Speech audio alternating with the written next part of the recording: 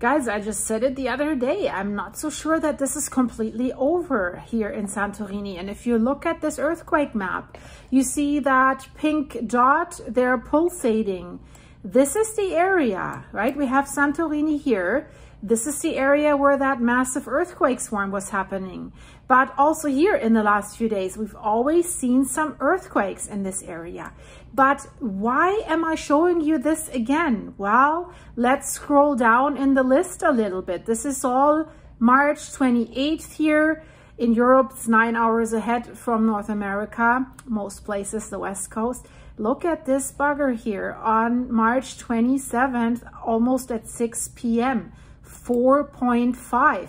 And this is the location. It's closer to Santorini, but still within the normal range where we've seen that earthquake swarm.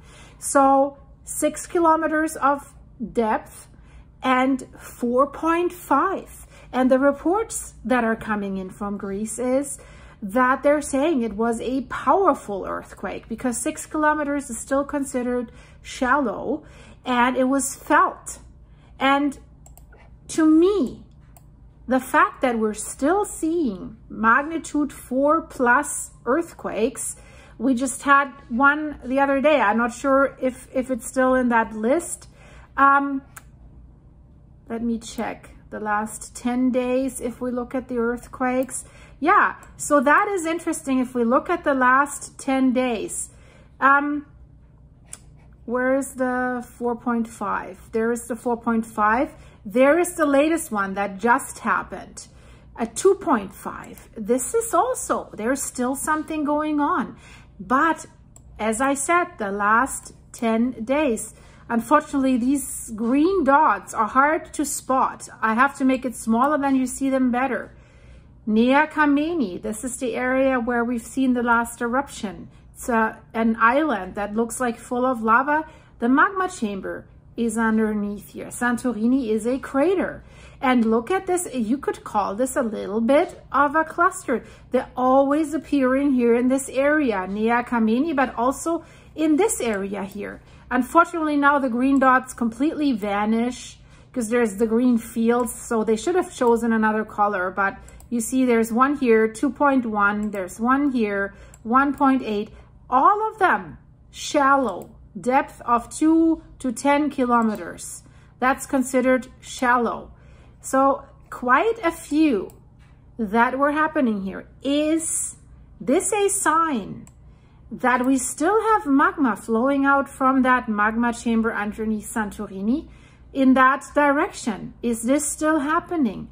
Why are we seeing the larger ones? Is this from fault lines that are here in the area? Of course, and we have the underwater volcano Kolumbo as well that has a land rise that could spread out some tension in the other areas. So, you know, that after such a massive earthquake swarm, we would still see some microseismic earthquakes.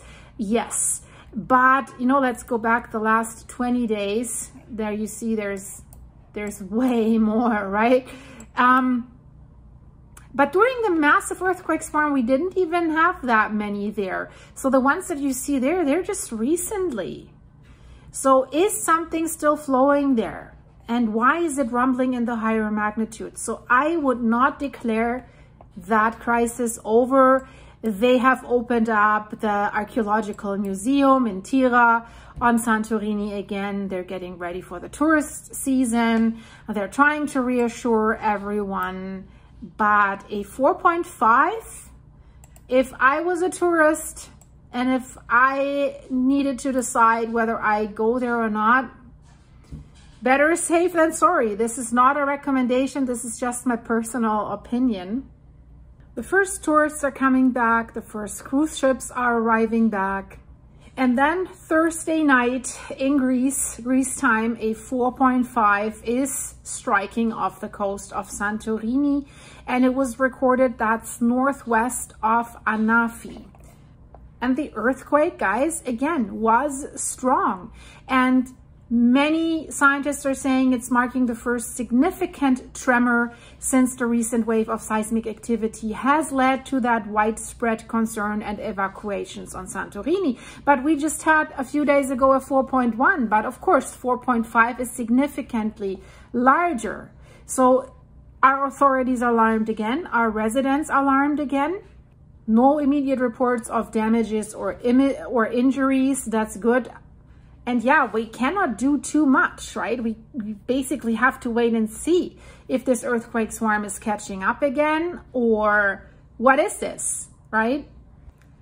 Definitely, we can see on this graph here that the earthquake number has significantly decreased. What we're seeing here is the earthquake frequency over time in like one hour steps. So there you see, it, it's not much anymore, but there are some on March 27th and now March 28th again. And the magnitudes are still high. That's what's interesting. What I find interesting is that um, officials have said that disaster response planning must take into account that psychological symptoms often do not appear immediately but may surface weeks after the event. And with the event, I'm speaking about this massive, massive earthquake swarm that was happening over weeks there. So this is quite a while ago. It's still rattling a little bit. So the question is, once we see these magnitude four earthquakes, does that, I don't know, remind the residents or scare the residents again? Because don't forget, thousands of residents had left the island and they're now returning and now they see another 4.5 again.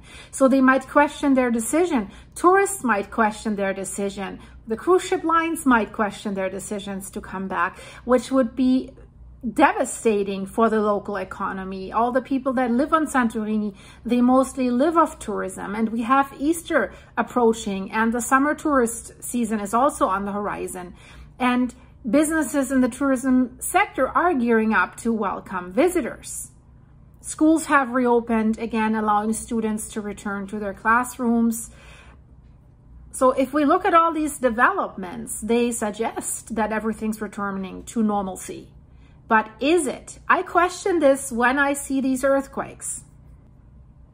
And also other scientists and journalists are questioning this. They're also wondering, has the island truly moved past the recent wave of earthquakes? A Greek psychiatry professor has said, and he's an internationally prominent figure in the field of mental health. He has said that the impacts of such phenomena can be multifaceted and prolonged, especially since we always see some of these earthquakes again. And this cannot only be said of the residents of Santorini, we can also say that of the residents near Naples, in Naples, more than 6 million people that live between the supervolcano Campi Flegrei and Vesuvius. And Campi Flegrei is the problem right now that is having these large earthquakes, just a 4.6 and the bradyseism. So people are scared there as well. So if there are any ongoing major stressors, this can really affect people's mental health. And this prolonged seismicity that we had in Santorini and in Campi Flegrei, where you always worried, is something collapsing above me? Will the volcano erupt? It's in both areas, dangerous, dangerous volcanoes. And it is well documented by research, and that's the problem for these areas, that any significant change in daily life requires individuals to mobilize their physical, mental, and emotional resources. And that can really drag on you. And then if these changes lead to tension, frustration, anger, or distress, they trigger what we call stress. And definitely the residents of Pozzuoli are in that stage right now. They're very angry, they're worried, they're, they're protesting. And if this is going on for quite a long time, in Campi Flegrei even longer than in Santorini, the stressors accumulate over a short period and then individuals become more vulnerable to physical illnesses, mental disorders, and even injuries from accidents if you're permanently stressed out. And there's certain parts of the body that are more susceptible to stress-related illnesses, though the precise mechanisms that we could link cause and effect are not always clear, but I found it interesting because really imagine that it's continuously rumbling for weeks. So we could have stress-related illnesses that include digestive disorders, lung diseases, heart conditions, oral conditions like mouth ulcers, skin and hair problems, alopecia, and uh, also reproductive health problems. So this is something that should really, really be taken serious and it also affects the brain, which could lead to mental health disorders such as people could have anxiety, depression, nervous tics, and phobias. Makes sense, right? And recent research has shown that stress can even exacerbate Parkinson's disease tremors. And for these people, right, it's an existential threat can we continue to live there? Will I lose my home? Will a volcano explode? That's Italy and Greece. So the, the greater, and, and people in Grindavik in Iceland have gone through this as well. If you uh, follow my channel, you know what I'm talking about. If not, become a subscriber and check out my playlist. So the, the greater and the more severe the changes in our daily life, uh, the less capable the people feel of managing them. And the more stress they experience and the higher the risk of developing one or more of these conditions, the higher is the risk of developing one or more simultaneously. That's even worse of these conditions. There's study that indicate that between one third and one half um, of natural disaster victims that they may develop depression, anxiety, or post-traumatic stress disorder, PTSD. I think we should, we have to talk about this because we're following these disasters and these events. And I'm, always trying to report about the people involved also, not only about the volcanoes and the earthquakes. And this PTSD can, many people don't even realize that they have it. It manifests through nightmares, flashbacks, and prolonged distress. So not only soldiers that hear, I don't know, a tire blow or something and they think it's an explosion. If something rattles, only if someone shakes a table, people might think the earthquakes are starting again. People could be, get memory loss, changes in appetite and weight. They could fear death, panic disorders, phobias, prolonged grief, sleep disturbances, outbursts of anger, and they could be very irritable Nearly 10%, and that's a lot, of the population may require significant or ongoing clinical care. So thankfully, I think many of the residents left when this earthquake swarm started versus Italy, they didn't leave because this area is so highly densely populated. And where would they go?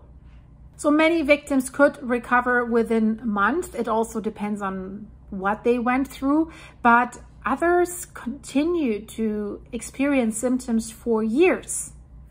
So yeah, guys, that was a little bit of an insight because, you know, I, I think it's important because we're always saying, yeah, they should leave and they should do this and how can they live there and how, how can they do that?